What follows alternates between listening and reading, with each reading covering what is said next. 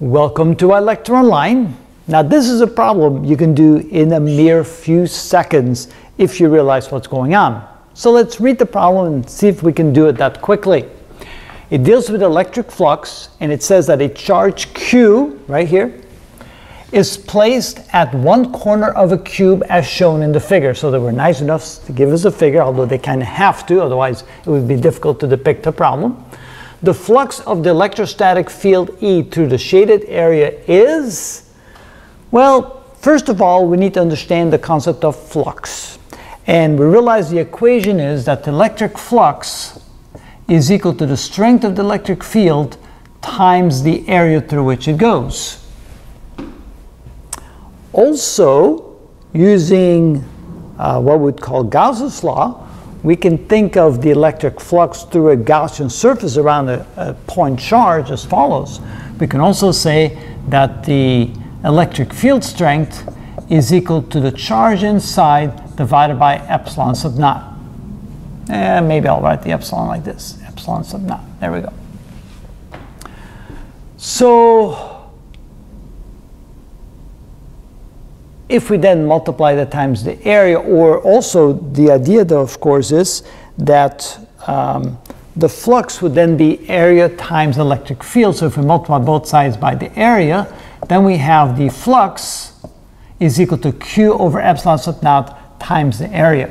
But now we're looking for the fraction of that flux that goes to the shaded area right here.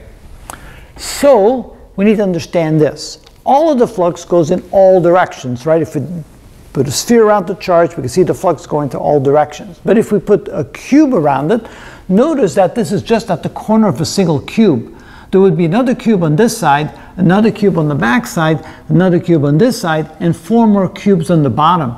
If we want to envelop that charge by these cubes, there would be eight total cubes, and there's only one cube in consideration here. So first of all, the fact that there's eight out of one out of eight cubes, that only takes part of the flux. The flux goes into all the other directions as well, not through the cube.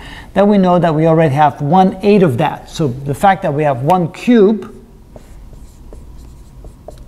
we can say that the flux is therefore equal to one eight q over epsilon sub naught.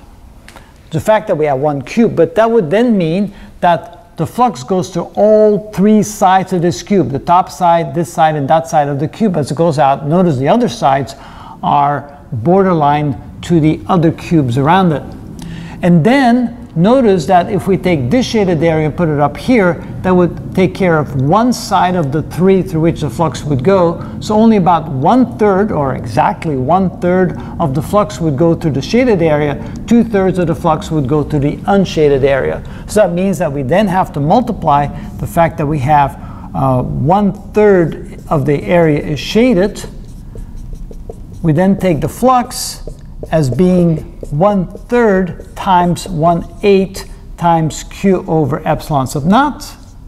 And so that means that only 1 24th of all the flux will go through the shaded area of the one cube. So again, 1 out of 8 cubes, so 1 8 of the flux goes to the entire cube, these three sides, side 1, side 2, side 3. The other sides are taken up by the other cubes and only one third of the three sides is shaded, two thirds is not shaded, so we take one third of one eighth or one twenty fourth of q over epsilon sub naught, which means that answer C is the correct answer. So you can actually think about that very quickly. First of all, we realize that the flux is E times A. Using Gauss's law, we know that the electric field is Q over epsilon sub naught. Multiply both sides by E, that gives you Q uh, oh, sorry, not Q. I'm going to confuse everybody. I meant flux, of course, electric flux. And so then it's simply a fraction of Q over epsilon sub naught. Since I have one cube, it's one eighth. And each cube, the cube is only one third shaded, so it's one third of one eighth or one twenty fourth of Q over epsilon sub naught. The fastest way to do the problem, hopefully that will give you some extra time to spend on the next problem. And that is how it's done.